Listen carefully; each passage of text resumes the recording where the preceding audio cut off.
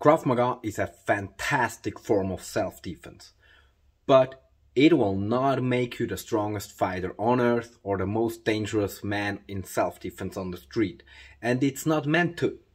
So let's talk about what Krav Maga is and what it is not. Krav Maga is the self-defense or fighting system of the Israeli military. Now most people think, oh that means it's gotta be badass. Yeah, it is badass, but we'll come to that. It means basically close combat and it's close combat. It is based on military, uh, military combat. So that means not that it is here to make the most dangerous hand-to-hand -hand fight on earth because soldiers are trained to kill. Well, that's true. Soldiers are trained to kill, kill with weapons and in a team. That's the whole point. Military hand-to-hand -hand combat serves two main purposes.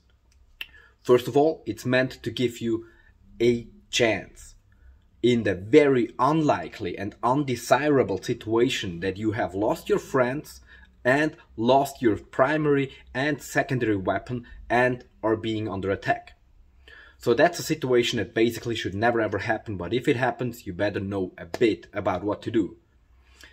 And secondly, it military hand-to-hand -hand combat is here to train your mind. Because military training is most of all not here to make the most effective fighters military encounters are usually won by numbers, by asymmetric fighting, by having more soldiers and the better technology than the one you are attacking. Right? That is how military be uh, how fights are being won. That's why military invests so much money in better technology, better fighter jets and whatever. Let's not talk about it too much. That is also the reason why military hand-to-hand -hand combat training is very limited Usually it's a couple hours, one day or two days out of half a year of training. Like here in Switzerland, you have six year, six months of mandatory military training and it's one or two days of hand-to-hand -hand combat. All the rest is a bit of shooting, how to handle your weapon, how to clean your weapon, how to keep your weapon working, right? We have quite a good shooting. You learn to shoot on 300 meters. Every soldier learns to shoot 300 meters.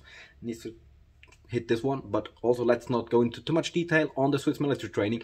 And most of the other training is about how to behave in a group of military, in the squad, how to follow orders, how to go then and there when you're being taught, because that's how wars are being won. That means it's not here to make the best hand-to-hand -hand fighter. It's here to be the minimum of what you need to do. The absolute minimum. It's meant to be a little bit of what can I squeeze if I have just like five hours of training of like 18 year old boys and girls who have never in their life before had any kind of fighting training. What can I teach them? And I will teach them the most basic maneuvers ever that I can absolutely think of. You're being attacked, so you just wah, go all out. You just do anything, something, just do something. And you want to get that into their minds, right? Because most attackers are not ready to meet force. Most attackers, most predatory violence is meant to meet a victim. They are meant to just take you, not to fight you, right? They're meant to just just take whatever they want to. As soon as you're fighting back, most likely it will work. Like statistics show that even mild, um, mildly fighting back has success in 95% to avoid being attacked, like in rape cases where the woman was fighting back a bit, resisting, it was called resisting a bit. Um, and it was only like um, saying no, no, no, or trying to keep him off. Not even using punches or biting or screeching. Just no, no, no, please don't. 95% effective because an attacker is not ready for that. And same if they are attacking a man, they are expecting you to cower and just let it happen. And as soon as you're showing that you will resist, they will most likely stop. If they are somebody who's ready to meet resistance, there's probably not much you can do if you don't have a weapon or are highly trained. But in all the other cases, it will work. And that's what Krav Maga is here for, right? that also means it's here for the vast majority of people. Because most people, they have day-to-day jobs. They are not natural born fighters, right? They don't want to come to the dojo like five times a week for 10 years. That's not what they want to. They just want to learn a bit. They don't want to be ready for 99.99999% of all encounters. It's good enough for them to be ready for 95% or 99% of encounters. Okay? Because it's a payoff, right? How much do you want to invest and how much do you want to get? And most people are not ready or willing to invest training two or three times a week even for the rest of their lives. And we have to respect that, right? Some of us are ready for that, some of us are not. And for the people who are not ready, most martial arts schools are just like, well then, forget about it, you know? It's your own fault, just get out of here, you know? Either you're the next Mike Tyson or get out of here, right? Either you're willing to subdue yourself to our hardcore old school kung fu training or not at all. And I respect those schools, right? I do not um, judge them. It's good, it's their way. But there are other ways. Okay, there are other ways because there are other people with other needs. And that is Krav Maga, right? And of course, never lie. Don't tell them after a weekend course, yeah, now you can defend yourself against Mike Tyson. That's not true. When I was training Wing Chun, I was being lied to. That's bad. I was being told that, yeah, we are doing self-defense. No rules. You know, those are just fighters with sports. You'll just kick their balls and they'll start crying. And I'm like, yeah, man, yeah. I was 11 years old and it was like, yeah, man oh yeah, if Muhammad Ali comes, I'm gonna boom, boom, boom. No, I'm gonna Wing Chun the fuck out of him. And one time, I met a boxer when I was training Wing Chun, and in my mind, 11 year old me was like, ha, you fool, now meet your demise. And he was standing there, hands down, being easy, and like, boom, slapping me a bit, and he rocked, he rocked my world. I was like, what happened? I knew the middle line was faster, because I've been, I've been lied to. That's bad. Some Aikido guys are being lied to. You know, they're being told, oh, you know, with our special Steven Seagal trick, you're gonna throw around like Teddy Riner, 140 kilogram uh, judo Olympic champion, like nothing, you know. Other people in Krav Maga are being lied to.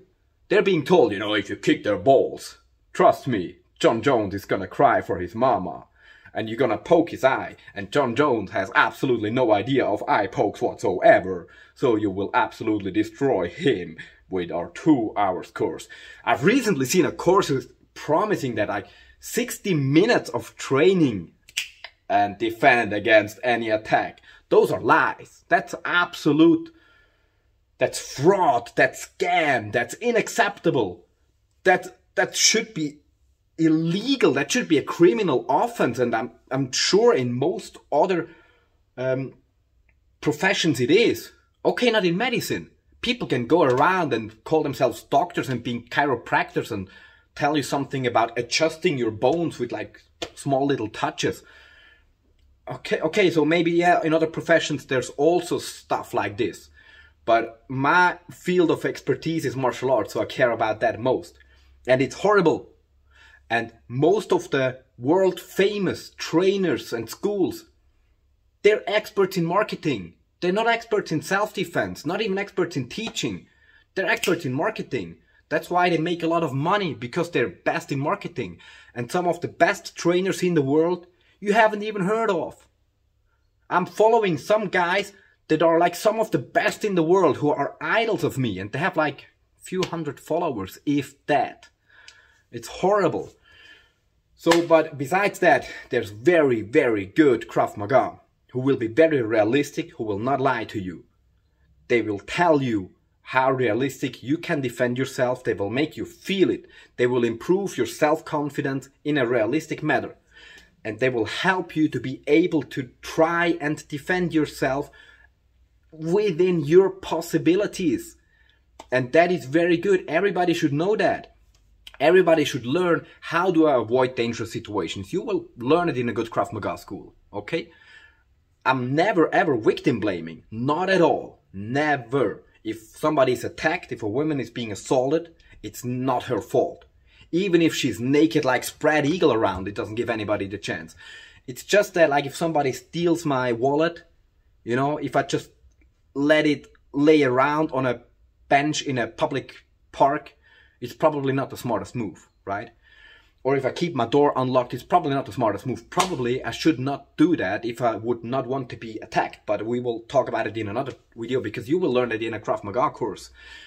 Okay, so how can I avoid dangerous situations? How can I recognize dangerous situations? And what can I do? And not just talk about it. It's not of no use to hear it now from me or from somebody else. You need to practice it. It's of no use to tell somebody just run away when you see a knife. That's bullshit. People tell me, oh, I would do this and that and blah, blah, blah, blah, blah, blah. You would not. You would do exactly what you trained to do. And if you have haven't trained nothing, that's what you do. Nothing. You just freeze. Let it happen. It's a respectable survival tactic. You know, if you're a woman and the man assaults you, and all your life you have thought, oh, I will fight back like a lion, and then he's towering over you 100 kilogram, and you're just like, oh man, I'll just let it happen, and then I'm gonna live tomorrow. Good on you, you survived that attack, fabulous. Hope that uh, it doesn't hurt you too much. The best for you to recover physically and mentally and don't listen to all the people and assholes and your own thoughts telling you what you should have done when you couldn't because you were maybe scared rightfully for your life. But also for men, you think like, oh, you will fight like a lion somebody attacks you and you will not. Most people freeze and do absolutely nothing. And I was a bouncer for many years. And the vast majority, over 90% of people do nothing when they are being attacked. Nothing. They just wait for it to be over. And as I said, it's a respectable survival tactic because most of the times it works. But it might be even better to learn how to avoid the situation, learn and practice, you know, how to not even encounter the situation, than how to avoid the situation. Maybe it's in your best interest to flee. Maybe, maybe not, maybe yes. How to fight back and make them stop if you can fabulous. It will probably be much better for your mind, especially if you have fought back and tried your best. Or maybe even come out of the situation as a winner, unharmed physically and mentally, even taught the other person a lesson that they will not forget and maybe even improve themselves. That's what Krav Maga can do for you, right? Many other forms of self-defense and martial arts can do that for you. But in a good self-defense school, specific self-defense school, you will have a lot of specific scenario training where you will learn and practice specific situations and how to handle them and it will help. And even if it's just a couple hours, it's better than nothing, right? Like many of us have done like um, some sort of, how do you say in English? Like a life-saving course where you learn a CPR and stuff like that. And it was just a couple hours. But like I've saved the life of my little baby boy a couple weeks ago. He was suffocating. He was no breath in or out. He was already blue or gray. And that couple hours of training have saved my little boy's life. And obviously I'm not as trained or, prof or professional as somebody whose day-to-day -day job that is. But it was enough to save a life and in many other situations. Maybe you didn't even recognize how you saved your life when you just said no to that man with a stern voice. Or you just thought, oh, I'm not gonna go into that dark alley. Or, no, I will not go home with that man. And you saved your life and you didn't even know. Self-defense course can do that for you within a couple hours. That's the worth of it. And it does save lives. Hope you like that. If you want to discuss me, Comments are free, post anything you like, and uh, see you next time!